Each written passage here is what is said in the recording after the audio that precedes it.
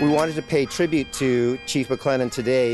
In 1914, he was uh, dedicating the new police building down in East Cordova and saw a number of uh, pipers that had uh, uh, put together a group uh, who were all police officers, Vancouver police officers.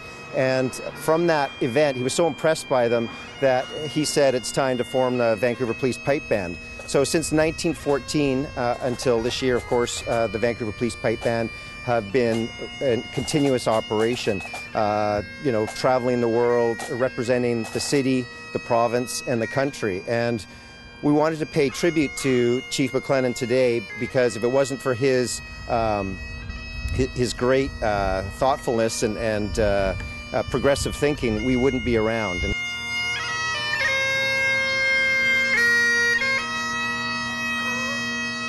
So on this spot, 97 years ago today, uh, it, it, well, it, was quite a story.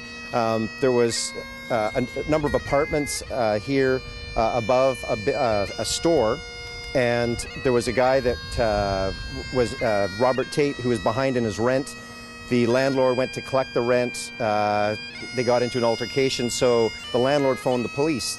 Chief MacLennan is on his way with reinforcements. They try talking to Mr. Tait uh, to no avail. So uh, Chief MacLennan decides that they're gonna they're gonna storm the apartment. Uh, the chief, who believed that he'd never put any man in a position that he shouldn't be in himself, took a fire axe and went to the door and broke down the door. Meanwhile, the chief, when he'd entered through the door, had been shot by Robert Tait. Uh, a fatal shot hit him in the head, and he was dead almost instantly.